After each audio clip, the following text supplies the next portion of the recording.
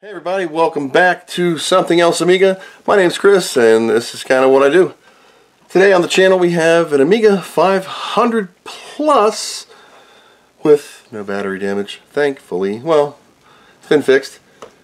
And we're going to be doing some upgrades to it. What the heck can you do to an Amiga 500? Well, we're going to get into that right now.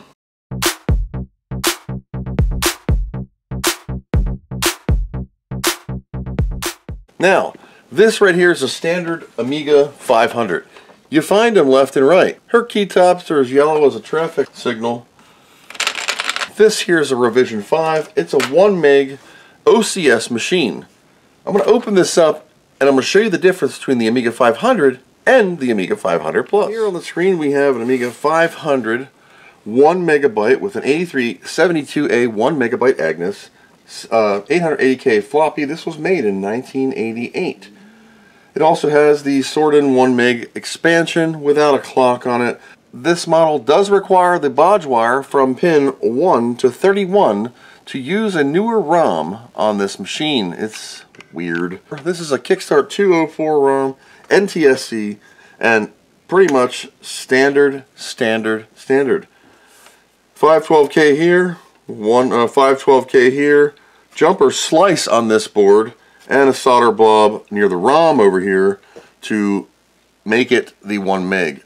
Well, I do have, currently you're going to see this Molex to Berg. I'm just using a splitter because I didn't have a cable. So I went to AmigaKit and I bought uh, this. This is just the cable, but there's a slight problem. Yeah, guys, it doesn't reach. It doesn't even come close to reaching at all. So if you could fix that, that would be great. Uh, yeah, this can't can't make it. It doesn't matter what way you go. It's just. Uh. Okay, so after my daughter literally scared the living crap out of me coming down sneaking up when I was singing a song about I hate being old, I was putting the 500 regular back together. So this is the 500 plus. We still have the original styrofoam. The power supply is not in here because of course this was, is a PAL unit. So ever so carefully, I'm going to slide her out of the foam and get the box out of the way because it is quite large. You can still see the original wedge shape of the foam. It's still in great shape. And I really try to cherish each and every Amiga. This has its original bag. And here we go. This is the Amiga 500 Plus. It is no uh, physical size dimensions different, but it is different. Well, first off, on the badge, you're going to have a green power light and a, uh, your drive light, orange, of course. But this one says A500 Plus. So all the A500 Pluses, my A500 just has this. Boop, chicken lips, which is on the right over here. And the A500 Plus does say full Commodore, a500 Plus with the Amiga embossed logo. So they do you have a different case. Dimension wise, they're the same. This, for me, is Shift 3. This, for me, in America, where Jesus lives, is Shift 2. And, you know, we have, my quote is normally here, where your quote is here. You're all backwards. It's wrong. Anywho, why didn't they use the extra keys for your goofy stuff? Let's look at the back. On the back, we have a busted warranty seal. Oh, go figure. Um, the slice on the original Commodore one at the top. This has an A500 UK, and it does say made in the Philippines 17441. Attempt repair by unauthorized persons voids warranty. I'm authorized. So this unit also has Phillips screws where mine has Torx T10. Alright, so this also has had its shielding removed for simplicity. I'm going to go ahead and remove the keyboard now, this one has the same stuff. The Amiga 500 Plus came with a battery backed up clock. You're thinking, geez, Louise, that looks like Dookie. It's just solder mask. It's been cleaned, it's been deboogered, and everything is functional. Now, what's different? So, the Amiga 500 Plus, whoa! The Amiga 500 Plus is a full ECS machine. What does that mean? It gives you the more screen modes that no one uses. I don't know why these chips are so sought after. It doesn't do anything better. 68,000, same ROM. I'm running a, what is this? Uh, 205 in this one. Yes, I kept a workbench too. But here is the neat thing about the Amiga 500 Plus. We have normal 256KX4 RAM, so we don't need 16 of them to get 512K. You can put a thing in here and get 1 meg, but it gets even better. Look at this Agnus. That is an 8375 VBB.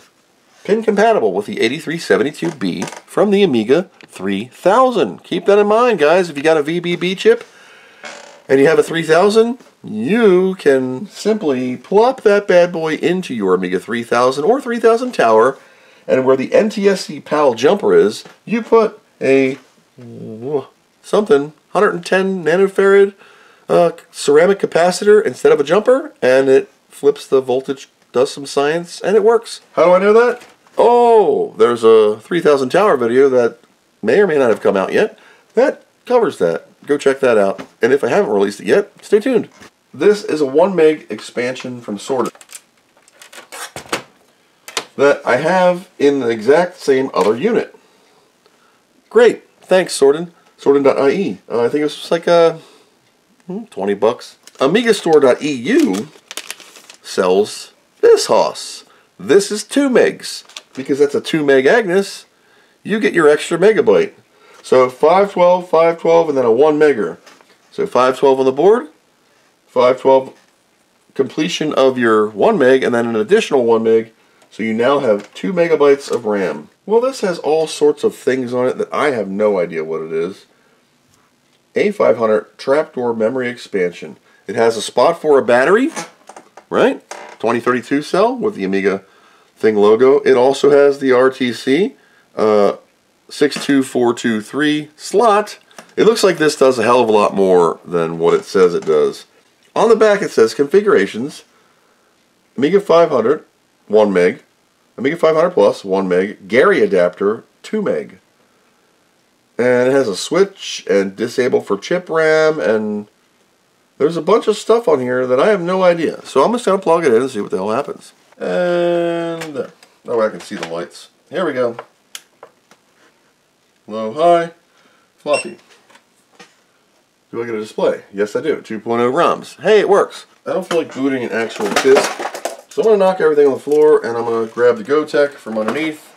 Make sure you have everything right in the way and all over the place, so your tools are everywhere. So we're going to boot a Amiga test kit. What do we get for chip RAM? I don't know. Well, let's see. This is a 50 hertz PAL memory Hot diggity dog. I did absolutely nothing and boop. Cool. What can you do with that? A hell of a lot more than you can do with a 512K Amiga 500. That was easy. There's some other options on that board that I don't know about. So it's picking up the clock chip off of the Amiga 500 Plus. Yes, remember, this thing had a battery, so it does have the capability of being 1978. Belly Slot Edition also has provisions for a battery, but it does not have a clock chip installed. That is cool. 2 megs a chip. I didn't have to do any jumpers, I didn't have to do anything, it's seeing the whole shabizzle. What that means is I could actually boot a workbench. Now without modification, a standard Amiga 500 with even a 1 megabyte Agnus, you're going to have 512K of total RAM. There we go. Kickstart 2. So if you have uh, like an older 500, you can, if you didn't do the slices or jumpers on your board, have 512, 512 for your 1 meg. But this gives me, hate that backdrop, 2 megs a chip right off the fly. And that's the faster of the RAM, I guess. What can I do? Nothing. Now, the real test, because no matter what Amiga I run, it never works. I have this on floppy disk. Amiga 500s are the only ones that seem to run it. Every single Amiga 500 can run this demo. This is state of the art from Spaceballs. Why do you use this demo versus so many others? Well, this thing will give your floppy drive a run for the money. So if you've cleaned your floppy drive and lubed the rails and you really want to put it to the test, boot state of the art. This thing does an Uzi on your uh, floppy drive and it's amazing what it does and my keyboard lights are off just a little bit. This should work perfectly because it's a PAL demo and my Amiga can run it. Whoop. So we've all seen this demo 2,897 million times and it will work fine on this Amiga 500. Number one, because it's in PAL. Number two, because it's an Amiga 500, unaccelerated, OCS, ECS type of chipset thing, and it'll work fine. If I slap this in any other of my accelerated Amigas, even with turning CPU cache off, one out of five times it might boot. Hear that? That's what I'm talking about. You watch your floppy drive, this thing just gets a run for its money the whole demo long, and you'll hear it. I'll leave the volume down. The volume works.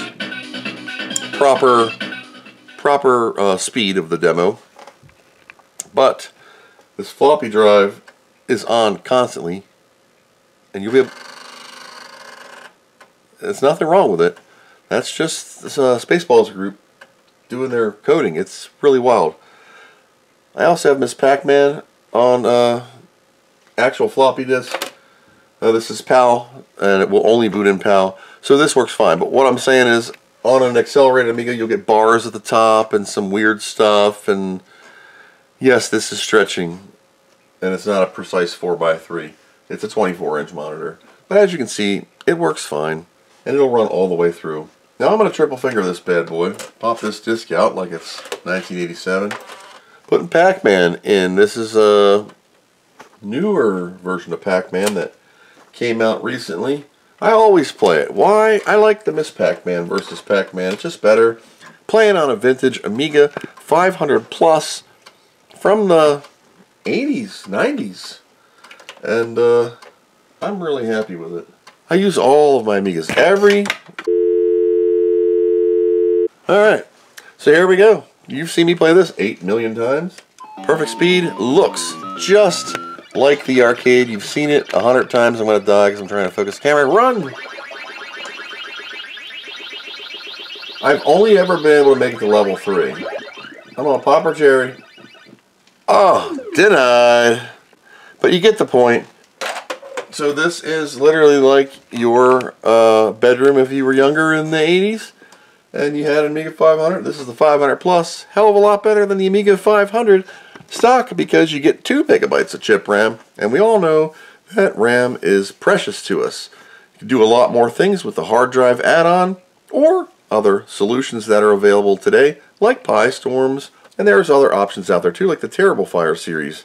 So keep that in mind. You can have an all-in-one solution for your Amiga 500 series.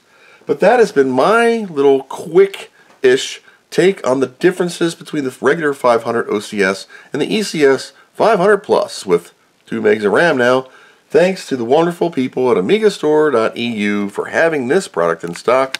I looked around my normal resellers and nobody had anything, but they actually had some stuff in stock, and I got it way faster than I normally do. Normally it takes a month for me to get products from Spain. I'm being in the US East Coast, two and a half weeks. But it was only about that big. That's what she said. What do you know from funny, you bastard? So anyway, that's all I got for this quick video. Thank you guys for coming along on the journey. And until next time, thanks for watching, and I hope you learned something.